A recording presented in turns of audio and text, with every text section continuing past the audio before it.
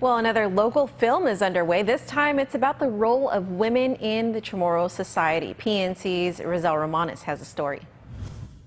Ever wonder what the role of women was in the ancient Chamorro times? Leanna San Agustin Halawa is on a journey to not only find out more about her ancestors, but also to see how it was like to be a woman back in the days and how the role of motherhood has changed over the years. Nahalawa plans on sharing her research with the local community with a film titled Mothering Guahan.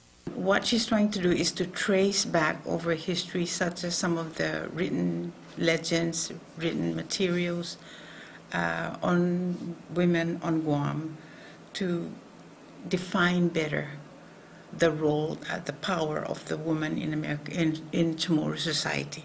Mothering Guahan project advisor Dr. Faye Untalan says Guam's richness in history, from Guam's colonization to Catholicism to the Americanization of our island, is what influenced the change of the mother role in the modern Chamorro society. Untalan explains how women held a lot of power hundreds of years ago. You know, Chamorro um, is a matrilineal society. Women have a very special role and in traditional Chamorro, in as we have learned over the course of the years, uh, the women holds a very important, very powerful role in the family.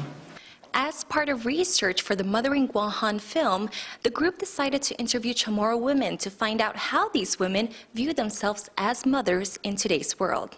What Leanna did was interviewed um, a, a, variety of Chamorro women, hoping to get a representation of different perspectives uh, about their own ideas and perspectives of what a Chamorro woman is, what their roles, what their responsibilities, what do they really find themselves uh, to be about. Untalan says the goal of the film is to inspire the younger generation. Untalan explains why it's so important to learn about one's culture and upbringing. So I think that that is really important. For me as a Chamorro woman, that is important. I look back and I see as I, you know, ponder what makes me what I am. And I cannot not uh, look at how I was raised by my mother how I see the role of my mother and my aunts and grandparents or grandmother, you know, how they how they function. And that is how we become.